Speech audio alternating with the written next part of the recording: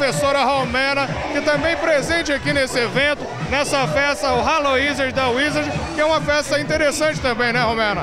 Sempre uma, um, um, evento muito interessante, bem lotado, muita gente por todo lado, se divertindo, curiosidade sobre os monstros e as coisas novas. Uh, enquanto, tudo de bom, todo mundo parece que está se divertindo. E o legal é, é, isso, né? A Wizard promover essas ações, esse entretenimento para os alunos. Né? Sim, porque realmente pode ser que metade daqui são alunos da Wizard, o resto são amigos deles, das escolas normais, da escola regular, de outras escolas de inglês.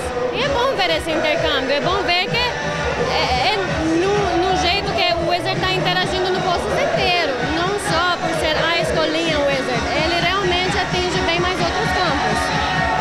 O bacana da Wizard, o interessante é o que? É ter professores de qualidade, professores que trazem uma bagagem é, onde o resultado final com o aluno é muito importante. Você, por exemplo, fala seis idiomas, né, Romero? Definitivamente. O, que é importante, primeiro de tudo, é o aprendizado, não?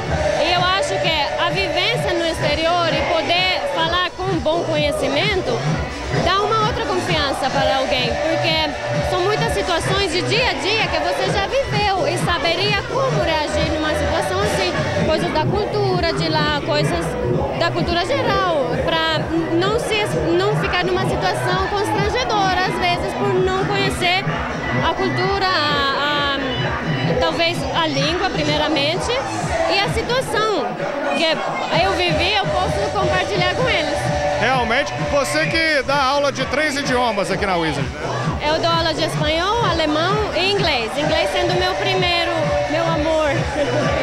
Olha que bacana. Essa qualidade da Wizard aqui para Poços de Caldas, toda a região também. Boa festa para você, Romana. Obrigada para você também. Obrigada. Boa festa.